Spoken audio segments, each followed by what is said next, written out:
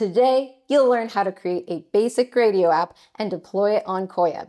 For this tutorial, you'll need a Koyeb account and Python installed on your machine. Let's start by creating our basic Gradio application. We'll create a new directory for our project files and then navigate to it. Then we're going to open the project in the IDE of our choice.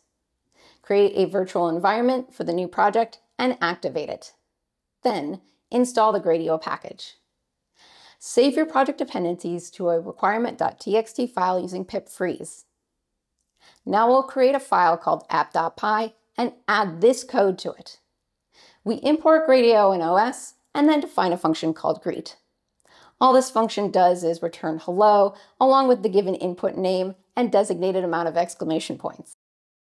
We then instantiate a Gradio interface that takes our greet function, text, and a slider as inputs, and text as an output. As you can see, Gradio makes it simple to pass the values from our inputs to our function without a lot of code. The web server we're creating runs on the port specified by the port environment variable, using 7860 as a fallback value. The launch function runs our Gradio demo, and that's all of our code. Let's run the app locally to try it out. When we navigate to localhost 7860 in the web browser, we can see that our web page is complete with the inputs and outputs that Gradio handles for us. Add your name to the name field, select an intensity from the slider, and click Submit. The output will then greet you.